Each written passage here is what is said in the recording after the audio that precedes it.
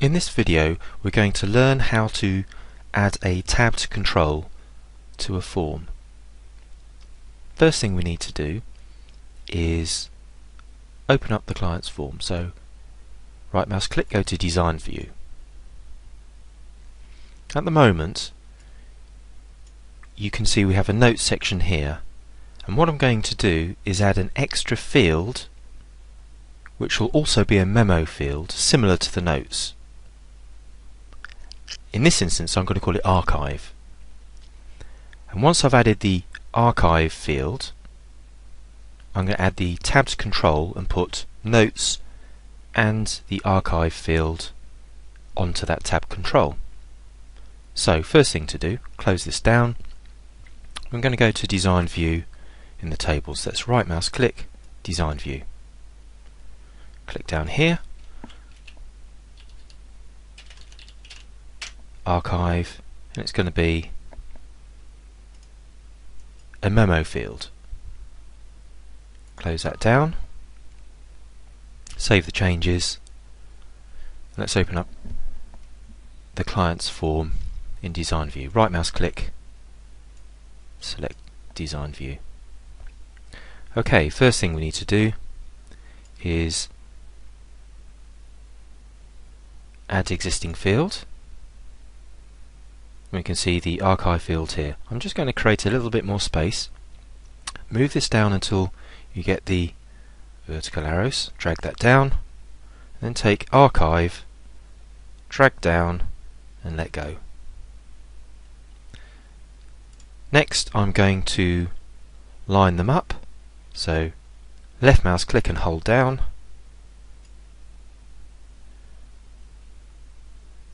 Actually, I'm going to just move it slightly to the right. And to line them up nice and easily, I'm going to draw a little box like that. So it just touches archive and notes label. Right mouse click, align to left. Do the same over here. Right mouse click, align to left. But I also want to make the archive field the same size as the notes field. And the way I do that is I right mouse click, size to widest, right mouse click, size to tallest. And there we have it. Now, what we need to do is add the tabbed control. You can see it's up there, so I'm going to create a little bit more space again.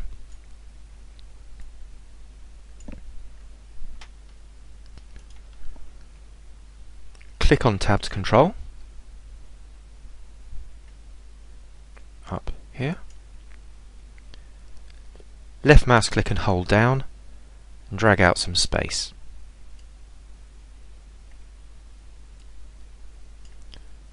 Now let's make a little bit more space down here.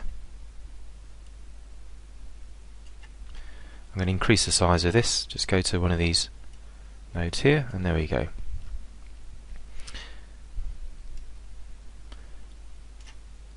This tab here, I want to call Notes, and this tab here, I want to call Archive.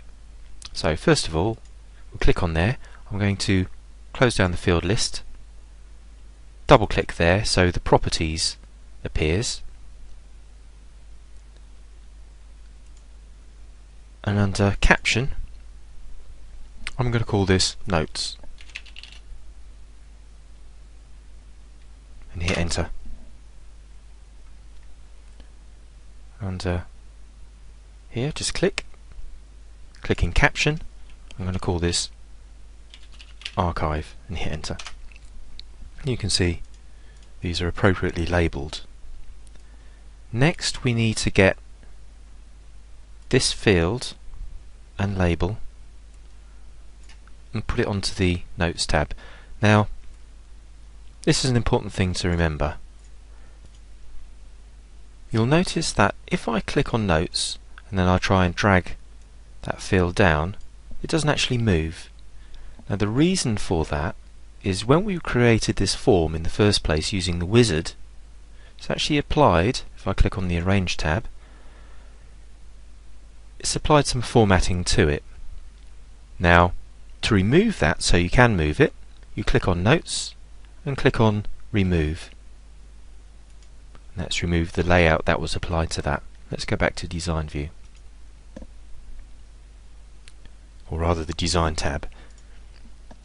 Now, if I drag that, you can see I can move it quite easily. So, click on there. I'm just going to go to the edge and drag down. I'm going to try and put it onto where it's got notes. Now, that doesn't look right. If we go to view the form,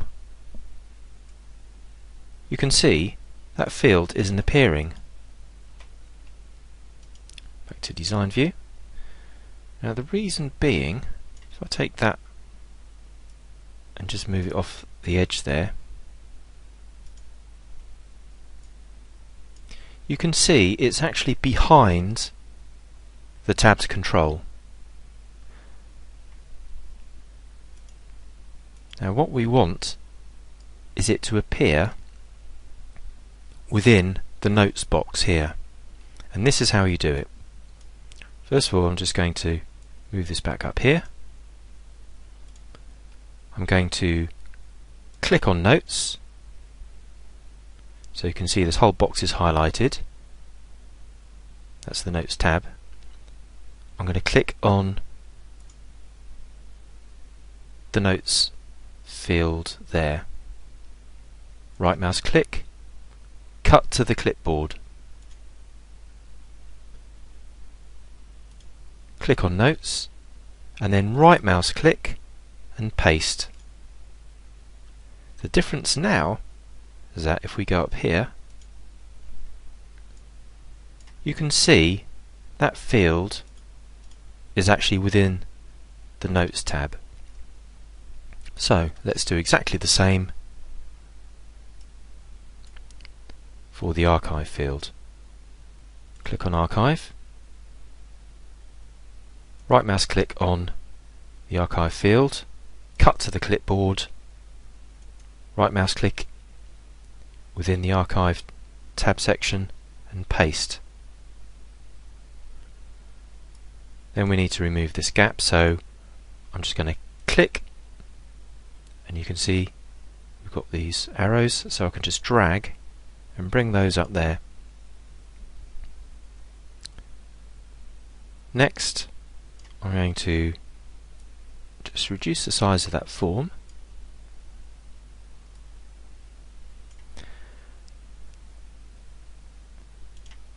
So I'm going to save that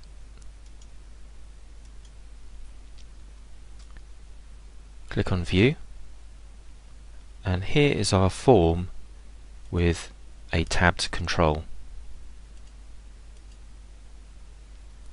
Now if you want to add another tab it's very simple. Let's go back to design view.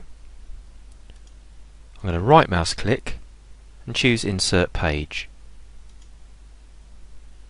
So we've got another page there. So if we want to change the caption for that I'm going to call this one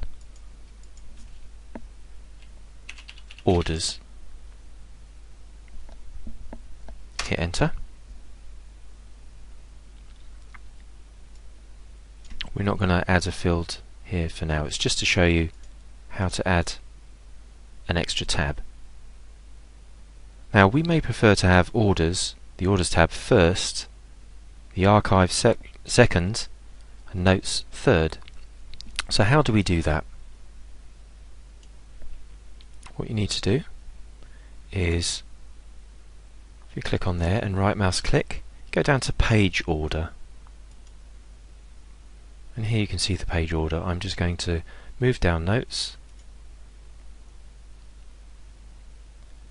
highlight orders and move up to the top and click OK. You can see they've reversed round. Let's save that go to view and here we have our tabbed control. So important things to remember here are that when you want to add fields to one of these tabs, you have to copy and paste. You cannot drag and drop. And the other thing to remember is if these fields have any layouts applied to them, you need to go to Arrange and click Remove.